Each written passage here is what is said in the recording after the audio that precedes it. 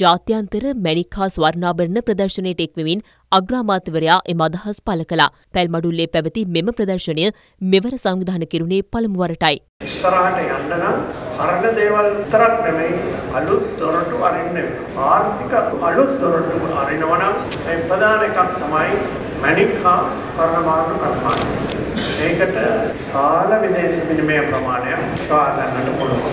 මැණික් හා ස්වර්ණාභරණ කර්මාන්තය රජයේ මඟ පෙන්වීම හා සහභාගීත්වයෙන් පෞද්ගලික අංශය කරන කර්මාන්තයක්.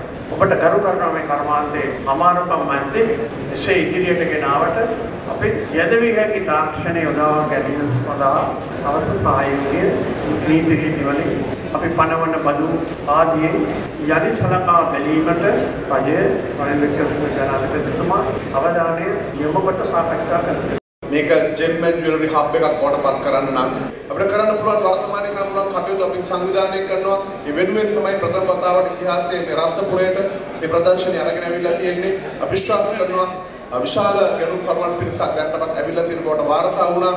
උනන්දු වෙලා ගැනුම්කරුවන් අරගෙන එමු රත්නපුරයට එහෙම කළොත් තමයි රත්නපුරේ ජනතාවට වඩාත් හොඳ ජාත්‍යන්තර වෙළඳාමකට මාර්ග විවර වෙන්නේ. අපගේ මැණික් ලෝකයේම ප්‍රසිද්ධ භාණ්ඩයක් හැටියට සියලු දෙනාම දන්නවා. නමුත් මෙම කර්මාන්තයේ නියම අගය අපිට තවම දැනෙලා නැහැ. අපි ඩොලර් මිලියන 500ක් පමණයි මේ කර්මාන්තයෙන් ලබා ගන්නේ. මම හිතන්නේ ලේසියෙන්ම අපගේ අලෙවිකරණය මාකටිං ඇන්ඩ් බ්‍රෑන්ඩින් අපි හරියට කරොත් ලේසියෙන්ම ඩොලර් බිලියනයක් අපිට ගන්න පුළුවන්. ඉතින් ඒක වෙන්නේ නැත්තේ කරුණු අපි විද්‍යානුකූලව හොයන්න අවශ්‍යයි.